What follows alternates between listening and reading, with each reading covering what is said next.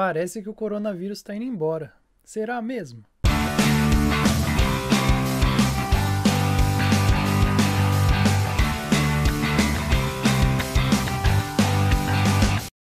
Nero aqui, galera, bem-vindos a mais um vídeo. E hoje era para ser o vlog do final de semana, né? Eu trabalhando, mas quem me segue no Instagram sabe que eu comprei a câmera nova, essa GoPro aqui, que inclusive é muito boa por sinal. Mas o que acontece? Quando eu fui editar os vídeos hoje, eu deixei a qualidade no talo, ou seja, eu deixei a qualidade extrema. e aí o meu PC não tá conseguindo ler esses arquivos, né? Então vou ter que criar um arquivo menor para cada vídeo que eu gravei para mim poder conseguir editar para vocês, tá? Então provavelmente o vlog do trabalho vai sair na quarta-feira, beleza? Beleza? Aí, para não deixar vocês sem vídeo, o que, que eu pensei? Vou falar um pouco sobre o corona aqui, como que tá a situação, né? E parece que hoje temos boas notícias, né? Pelo menos o governador de Nova York deu boas notícias hoje, né? E exatamente isso que eu vou discutir com vocês. Mas antes, se você curtiu a ideia desse vídeo, já se inscreva no canal, tá? Não paga nada, é grátis. Lembra de ativar o sininho das notificações para você não perder os próximos vídeos. E se você gostar do conteúdo, deixa o seu like que me ajuda demais na divulgação, beleza? Então, bora pro vídeo. Então bora lá, vou ler a notícia aqui para vocês. Ó. O governador de Nova York diz que o pior acabou. Tem outros tópicos aqui no meio dessa notícia, tá? Mas vamos focar no coronavírus aqui, que é o forte aqui, né? Ele tá falando que mortes nos Estados Unidos elas diminuíram novamente e que um marinheiro morreu no USS Theodore Roosevelt, né? Acho que é um navio lá que atracou em Nova York.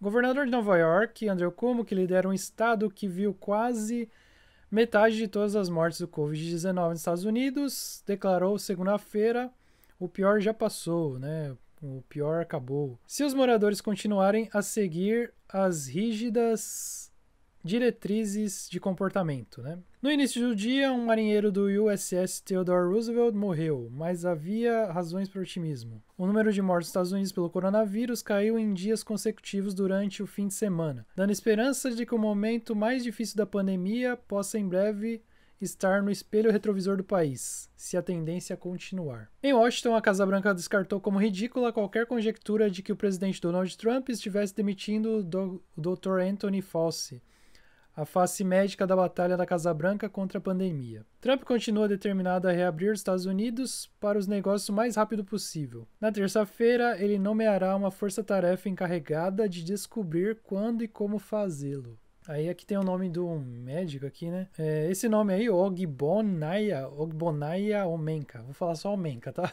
Omenka, especialista em saúde pública da Faculdade de Farmácia e Ciências da Saúde da Universidade de Butler disse ao USA Today que provavelmente seria necessária uma abordagem gradual para abrir o país. Determinar quando reabrir é uma tarefa arriscada, disse Omenka. A decisão pode sair pela culatra se for muito cedo. Segunda-feira passou um mês desde que Trump declarou uma emergência nacional. Havia menos de 2 mil casos confirmados em todo o país na época. O número de mortos no domingo nos Estados Unidos foi de 1.557, segundo dados da Universidade Johns Hopkins.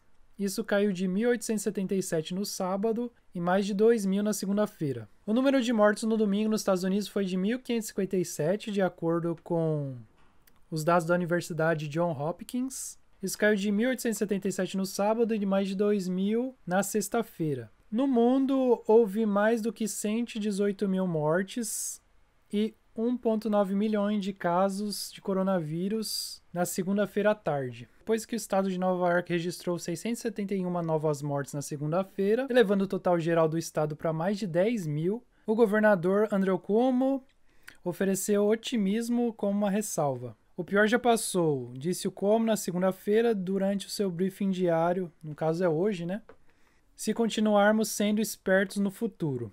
Como indicou que a afirmação era sua crença pessoal e acrescentou que o achatamento da nova curva de mortes poderia terminar com dois ou três dias de comportamento imprudente, né? Ou seja, se as pessoas achassem que acabou o bagulho e começasse a sair normal, aí ia ferrar tudo.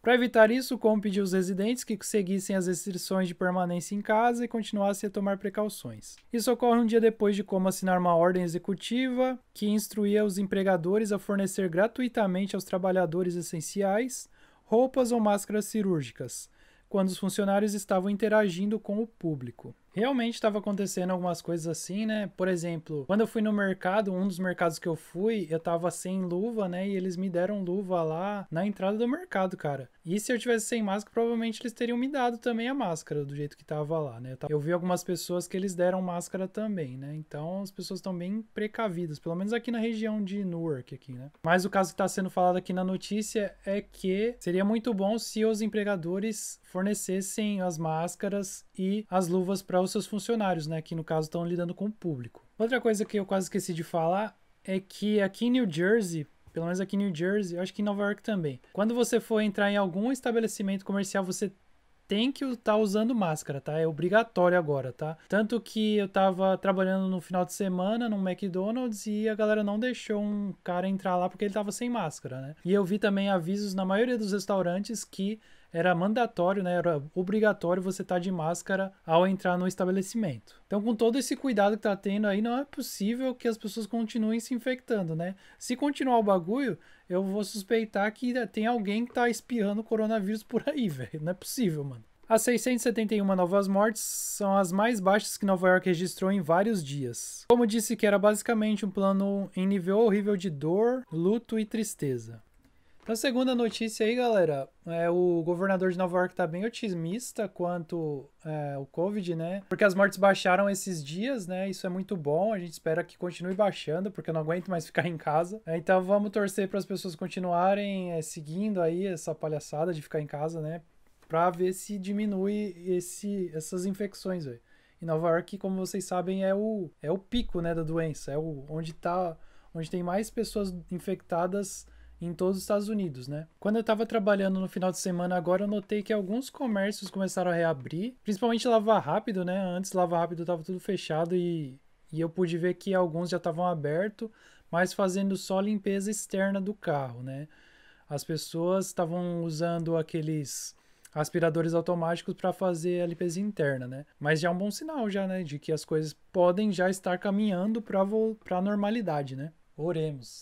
Mas é isso, um videozinho rápido para não deixar vocês sem conteúdo, tá? Se gostou, deixa o seu like, coloca aí nos comentários o que, que você acha, quando que você acha que vai realmente reabrir tudo, né? Quando o país vai reabrir. E aí no Brasil, como que tá a situação aí? Coloca nos comentários que eu quero saber, beleza? Se você não for inscrito ainda, se inscreva no canal, é de graça, tá? Lembra de ativar o sininho com todas as notificações para você não perder os próximos conteúdos e deixa o seu like que me ajuda demais na divulgação do canal, tá bom? Mais uma vez, muito obrigado pelo acesso, eu sou o Neru e te vejo no próximo vídeo. Bye, bye.